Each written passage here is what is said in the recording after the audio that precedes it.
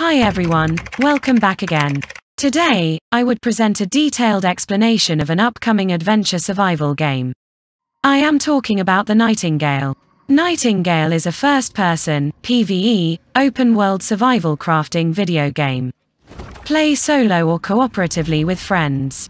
Build, craft, fight, and explore as you venture through mystical portals into a variety of amazing and fantastical realms. You are stranded beyond our world, cut off by the collapse of the arcane portal network. This catastrophe has left you fighting to survive in a labyrinth of beautiful and dangerous Fey realms.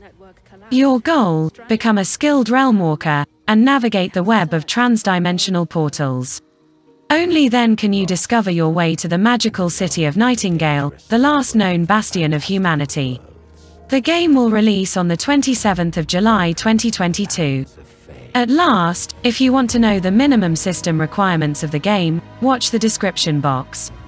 Leave a comment below if you like the game. And hit the subscribe button for the latest update on the gaming world. Thanks for watching, see you in the upcoming videos.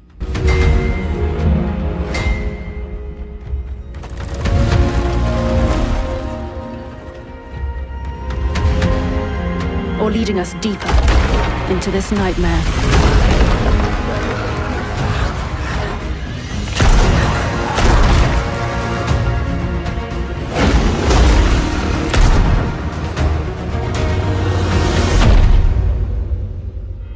Nightingale, our beacon of hope. But beyond our reach, as long as we stand together. Our journey will unite us.